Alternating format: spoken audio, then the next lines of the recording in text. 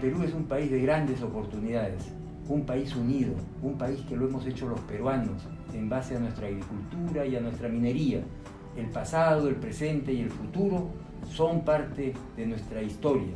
Nosotros esperamos que nos acompañen en Agromín, en Trujillo, del 6 al 8 de junio, donde podrán expresarse y comunicarse.